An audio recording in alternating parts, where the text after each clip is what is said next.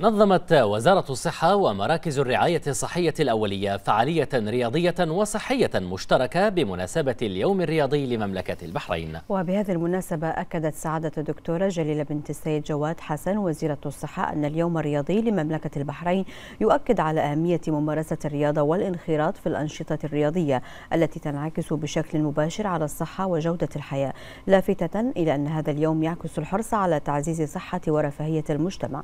أشارت سعادتها إلى أن هذه الرياضة تعد جزءا هاما من نمط الحياة الصحي إذ تساهم في تعزيز اللياقة البدنية والعقلية وتقوية جهاز المناعة وتحسين جودة الحياة بشكل عام.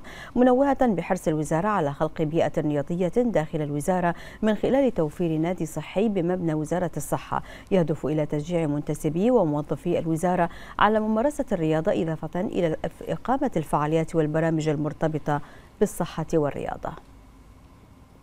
حرصت مملكة البحرين على تبني العديد من المبادرات التي تعنى بممارسة الرياضة وتشجع على أنماط الحياة الصحية وجاء تخصيص نصف يوم عمل في تاريخ 22 فبراير هذا العام على ضوء توجيهات سيدي صاحب السمو الملكي ولي العهد رئيس مجلس الوزراء حفظه الله داعما لما ترمي إليه حكومة مملكة البحرين من دعم لممارسة الأنشطة التي تنعكس على تحسين جودة الحياة وتقليل المراضى المتعلقة بالخمول البدني.